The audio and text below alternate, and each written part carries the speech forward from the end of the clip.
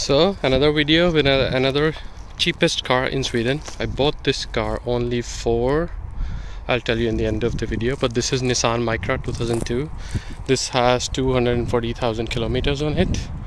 Red color crystal lights aluminium rims summer tires. Yeah.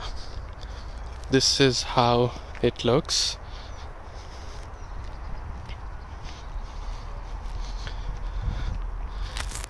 the color I don't like this vinyl and the color on the bonnet is really oxidized and then some clear coat damage in different places and then some paint chipping in few places. But otherwise lights are okay. It works. It has inspection up till some date this end of this month. And this is how it looks. Power windows. Seats are dirty interior is really really dirty. This is how it looks. So yeah the problems in this car. There are a few problems in this car.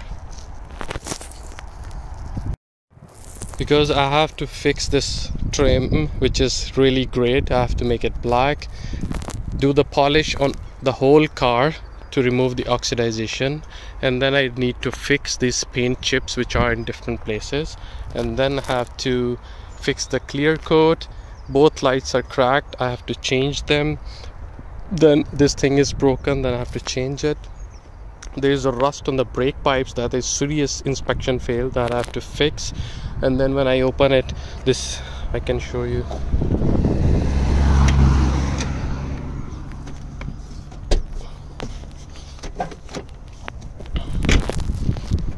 so if I open this see uh, the rust damage on this car.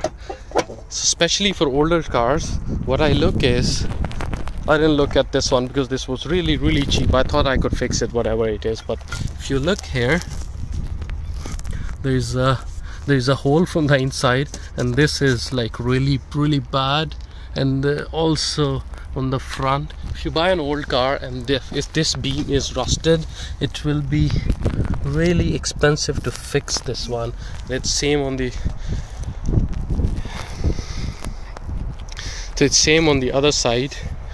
And then the interior is dirty really dirty. I have to clean the seats. I have to clean the interior. I have to change the door sides. They look really really nasty. Then I have to clean all this. And then the temperature gauge doesn't work. Whenever I start it just shoots up. Yeah and then if, if it this car has lesser miles on it. So if this car has lesser miles on it kilometers. Maybe I should have done it. I wanted to modify it and keep it for myself. A small car really cheap one. But now when I see that it has 240,000 kilometers maybe it will go up till 300,000 kilometers and then the whole car will be dead. So now I think it's not worth fixing this old car. Maybe if there wouldn't be rust I could have done I could have done it. Maybe change the motor when it's 300,000 kilometers and uh, do these kind of things. But uh, yeah then I lost hope in this car. So uh, for how much did I buy it? 450 Swedish crowns that is around $40 and 7 8000 Pakistani rupees. And now I sold it. I just sold it with tires and everything for 2000 Swedish crowns which is around uh, $200 and uh, in Pakistani rupees maybe it's uh, 60 70,000 so straight cash. I just bought it a few days ago. Didn't do anything with the car. Didn't even clean up. Nothing I've done in this car. Just bought it and put an ad and sold it. So yeah. Um, that was a quick cash.